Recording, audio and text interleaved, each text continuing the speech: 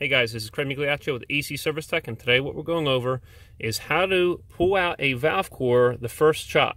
So we're going to remove this valve core using a valve core removal tool, and what's happening is I've heard of uh, a lot of technicians having problems with the valve core getting stuck in the tool on the way out. So you want to make sure that this side port right here is snug, and you want to make sure that the back is snug but not overly tight. You can go ahead and keep this fairly tight at the beginning, but then after that, we're going to go ahead and loosen it up.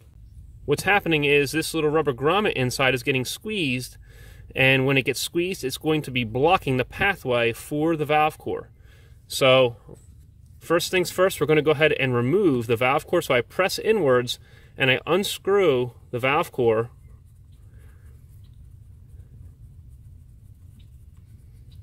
until you feel it click, and that means that it's out of the threads.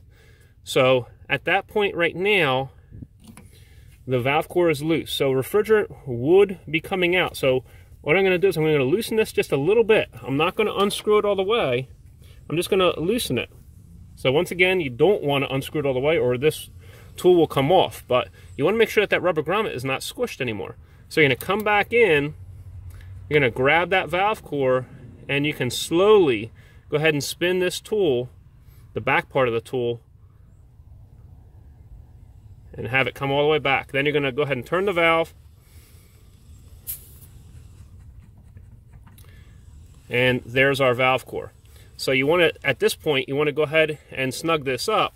You want to make sure that this is not going to be leaking when, during your recovery, especially if you're going into vacuum so, so now we're snug on here. We have our valve core out. So you're going to do the same thing on the liquid line. If you're looking for the valve core removal tool, I have that linked in the description section below, as well as other videos on vacuuming and recovery. If you want to help support this HVACR training channel, click here. If you want to subscribe, click here. And if you want to see another HVACR training video, click right here. Hope you enjoyed yourself, and we'll see you next time at AC Service Tech channel.